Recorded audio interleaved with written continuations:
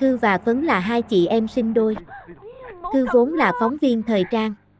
Ngày nọ, cô chị cùng một đoàn phóng sự đi đến một vùng quê hẻo lánh ở đại lục Trung Hoa để làm phóng sự về cư dân bản địa. Ở đó, họ cùng trọ trong một nhà nghỉ.